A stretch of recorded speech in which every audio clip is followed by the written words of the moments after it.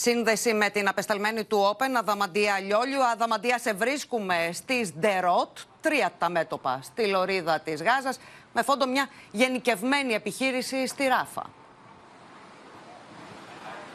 Και είναι σφοδρές οι επιχειρήσει Ματίνα στην πόλη Τζαμπαλίγια, στο βόρειο τμήμα της Λωρίδας της Γάζας, την οποία βλέπετε και πίσω μου, με τις επιθέσεις να συνεχίζονται από ξηράς και από αέρο. Επίκεντρο του στρατού του Ισραήλ φαίνεται πως είναι ο καταβλισμός της ε, Τζαμπαλίγια. Μάλιστα, οι πληροφορίες ε, που έχουμε είναι ότι η Χαμάς στη συγκεκριμένη περιοχή, στο βόρειο τμήμα της Λωρίδας της Γάζας, καθώς έχει αναδιοργανωθεί, χρησιμοποιεί ακόμη πιο επιθετικές μεθόδους με RPG, όπως επίσης εκρηκτικούς μηχανισμούς και αντιαρματικούς πυράβλους. Στοχεύουν οι δυνάμεις ε, του Ισραήλ ε, στο να εξουδετερώσουν θέσεις της Χαμάς εκεί. Μάλιστα, νωρίτερα σήμερα εκτοξεύτηκαν και ρουκέτες της Χαμάς προς τη Σδερότο που και βρισκόμαστε, όπως και σε άλλες περιοχές στο νότο της Λωρίδας της Γάζας. Υπήρχαν αναχαιτήσεις, ωστόσο, μία ρουκέτα χτύπησε ένα ε, κτίριο, προκαλώντας καταστροφή στο συγκεκριμένο σημείο. Τώρα, παράλληλα, να πούμε ότι η ταξιαρχία Ναχάλ έχει αποσυρθεί πλέον ολοκληρώνοντας την επιχείρησή της στο κέντρο της Λωρίδας στην πόλη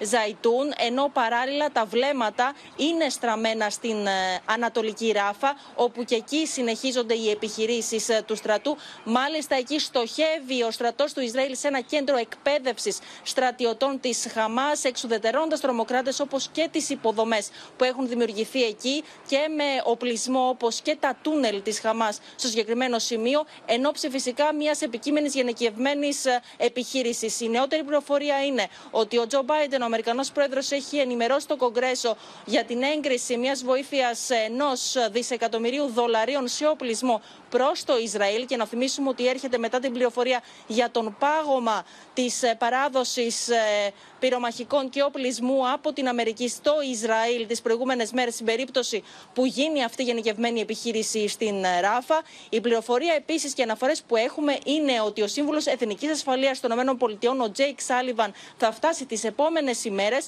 στη Σαουδική Αραβία και κατόπιν στο Ισραήλ.